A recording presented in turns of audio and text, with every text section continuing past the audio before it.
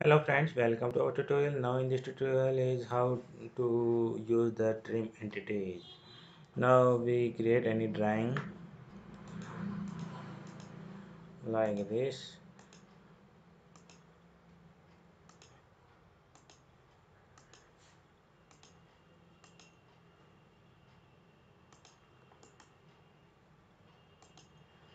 This is suppose in drawing. Now the trim. This is the trim entity. Select this. Here five options are given. Power trim. Select the power trim. Press left click and rotate, rotate around where on the screen.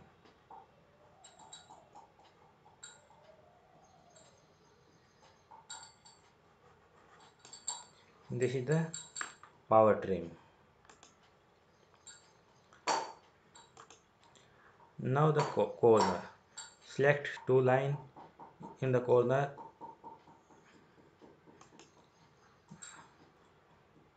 So this line and this line selected then this point is removed. And this line is removed from here. Select this line and select this line. This line and this line will be trimmed now again next option is trim away inside. Any two lines selected and between these two lines uh, inner side uh, area will be removed. Select this and select first line and select second line and click in inner side line. Only inner side line will, will be deleted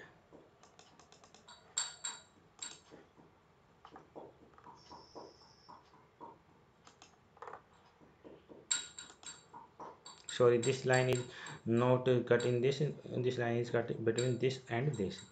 So again trim entities. Trim select this line and select this line. And now trim this. Okay?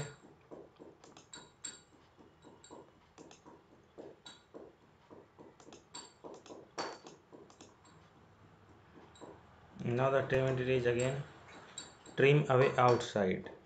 Mm, we select any two lines and uh, outside line will suppose this and this. Selected now outside line selected. They are removed. They, they this line are not removed because this line is not selected. And okay. Now trim entities trim to closest. Trim to closest means near the point. Now this is the closest point. This if we select this line the line this is from this point to this point will will select that. Now we select this line then this point to this point will line trim if we select this point this line from here then only trim from this point to this point. This is trim to nearest nearest point trim select select it is the nearest trim to closest point. Okay?